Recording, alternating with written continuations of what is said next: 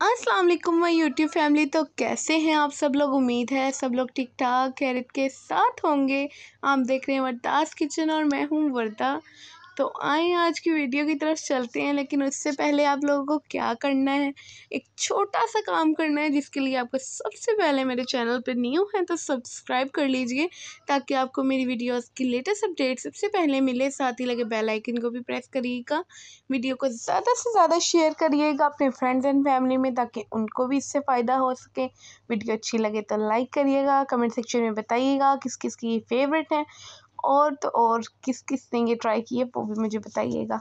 और मेरे F page को, किचन वरदास को भी फॉलो करिएगा डिस्क्रिप्शन में इसका लिंक है। और मुझे इंस्टा पर भी फॉलो करिएगा, उसका भी लिंक डिस्क्रिप्शन में है। तो वीडियो की तरफ़ चलते हैं। आज बनानी हूँ बहुत ही ज़बरदस्त, बहुत ही यूनिक सी और बहुत डिफरेंट और इजी सी रेसिपी है। आप लोग, जब भी आप लोग को मेरे जैसे क्रेविंग हो ना, मुझे बहुत ज़्यादा ऐसी चीज़ों की क्रेविंग होती है। तो मैं तो बस एक काम मेरा ये होता है कि मैं झटपट से कुछ भी बना लूँ। तो जिस, जब बनाना आता होता है ना, तब बंदे से रहा नहीं जाता। तो मैंने भी चिकन फिंगर पॉपकॉर्न ट्राई करे तो मैंने आपके साथ उसकी रेसिपी शेयर कर देती हूँ। मैंने पहले क्यूब्स में चिकन को कट कर लिया। मैंने ये बोनलेस साइड लिया फिले वाली साइड नहीं होती, उसको मैंने अच्छे से ना पहले कर लिया था। क्यूब्स कटिंग में, फिर उसकी मैरिनेशन करते हैं। तो मैरिनेशन कर ले लिया है पिसा हुआ धनिया, पिसा हुआ धनिया one tablespoon ginger garlic paste half teaspoon crush chilli one teaspoon और साथ ही साथ इसके वाइट पेपर जाएगी। इसमें वाइट पेपर में इसमें ऐड कर रही हूँ। हाँ one and half teaspoon क्योंकि नॉर्मल स्पाइसेस होंगे, इतने ज़्यादा स्पाइसेस नहीं होंगे इसमें। हाफ़ टी स्पून मैंने इसमें रेड चिली डाली है और हाफ़ ही टी स्पून मैंने यहाँ पर ब्लैक पेपर ऐड कर दी है। सॉल्ट भी हाफ़ टी स्पून इसमें ऐड किया है मैंने, क्योंकि मैंने जो मैंने फिंगर का कोट भी करूँगी ना, उस पर भी सॉल्ट ऐड करूँगी। बस अब इसमें वेनेगर ऐड कर देंगे two tablespoon chilli sauce add कर देंगे two tablespoon soya sauce add कर देंगे।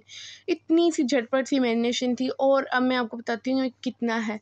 ये है seven fifty gram chicken seven fifty gram plus में ही चिकन था।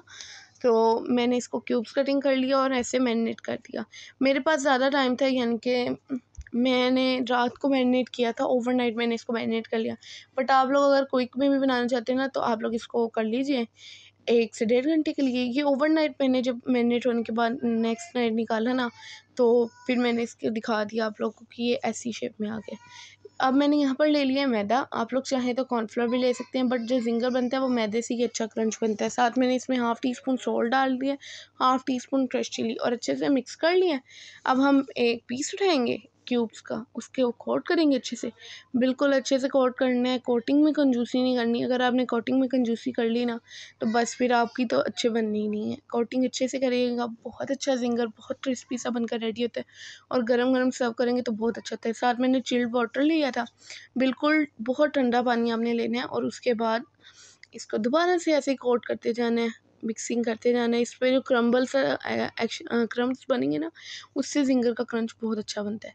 तो अब इसको क्रम्स देख सकते हैं आप लोग कितने अच्छे से आ चुके हैं और अच्छे से आप लोग इस पर क्रम्स कोट करें। और जस्ट आप इसको फ्राई कर लें। मैंने बिल्कुल लो फ्लेम पर ना इसको फ्राई किया था गोल्डन होने तक। कोई भी टाइमिंग का इशू नहीं होता कि आपने एक मिनट एक साइड कुक करनी है, दो मिनट इसको हमने सिर्फ़ उसी स्टेज तक कुक करना है जब तक ये गोल्डन हो जाएगा। गोल्डन और क्रिस्पी अब मैं इसी तरह सारे बैच डाल दूँगी। तो मैंने फ़र्स्ट बैच इसमें डाल दिया है। अब इसको गोल्डन होने तक मैं फ्राई करूँगी और उसके बाद मैं आपको शेयर करती हूँ। देखो कितनी इजी और आसान सी रेसिपी थी और इसी रेसिपी के दौरान बहुत से लोग होते हैं जो वीडियो देखने में इतने गुम होते हैं लाइक करना भूल जाते हैं तो प्लीज़ जल्दी से लाइक कर दो। कमेंट सेक्शन में बताओ भाई किस किस को पसंद है ताकि मैं अमेजिंग सी नई नई वीडियोज़ आपके साथ और शेयर करूँ अच्छे अच्छे से ब्लॉग शेयर करूँ आपके साथ। सो so, आज तो अहमद भी इसके रिव्यू देगा क्योंकि इतने नॉर्मल स्पाइसेस थे जब कोट हो जाता है ना इसका, जिंगर का तो फिर नॉर्मल स्पाइसेस हो जाते हैं। इसीलिए ना फिर बच्चे बड़े सभी को पसंद आने लग जाते हैं बहुत ज़्यादा। तो अहमद ने भी इसको खूब इंजॉय किया था, अहमद को भी बहुत पसंद आए थे। सो अब ये फ्राई हो चुके हैं, मैं इनको निकाल लूँगी। और इसी तरह मैंने सारे फ्राई कर कर रेडी कर लीजिए कर लिए हैं। सो आप लोग यहाँ पर देख सकते हैं कितने अच्छे से इसका जिंगर आया। बट कैमरे में ना इतना अच्छा कैप्चर ही नहीं हो रहा था, जितना अच्छा ये रियलिटी में लग रहा था। सो बहुत अच्छे से क्रंच था, बहुत ज़बरदस्त जिंगर इसका बना था। और ट्रस्ट मी ना, ये वन बाइट थे और इसको खाने के बाद जब हमने ये सारे ख़त्म कर लिए ना तो उसके बाद हमारा दिल करता और खाएँ। इतने मज़े के बनकर रेडी हुए थे। तो मुझे बताइएगा किस किस की फेवरेट रेसिपी है? ये वाली रेसिपी आपकी फ़ेवरेट है? और किस किस को ऐसी चीज़ों की क्रेविंग होती है? तो कमेंट सेक्शन में मेरे से ज़रूर शेयर करिएगा। और तो और इतने नॉर्मल स्पाइसेस अगर आप लोग चाहें ना तो इसके स्पाइसेस में और भी कुछ ऐड कर सकते हैं। साथ मैंने चिली सॉस कैचअप के साथ इसे सर्व किया था। डिप वगैरह मैंने कुछ नहीं बनाई थी। अगर आप लोग डिप के साथ सर्व करना चाहते हैं तो आप वो भी कर सकते हैं। अंदर से सॉफ्ट चिकन था, बहुत अच्छा गल गया था। और ऊपर से क्रंच बहुत अच्छा था। तो ये थी आज की छोटी सी रेसिपी उम्मीद है आप लोगों को ये रेसिपी पसंद आई होगी। तो पसंद आई है तो जल्दी से मेरे चैनल पर जो जो न्यू है ना वो सब्सक्राइब कर लीजिए और वीडियो को लाइक करिएगा। सो अहमद के रिव्यू लेते हैं। कैसे बने अहमद? बहुत अच्छे। मज़ेदार हाँ। जी खा लो। उम्मीद है ये रेसिपी पसंद आई होगी। मुझे तो हमें याद रखिएगा अपना बहुत सारा ख्याल रखिएगा। टेक केयर अल्लाह हाफिज़। बाय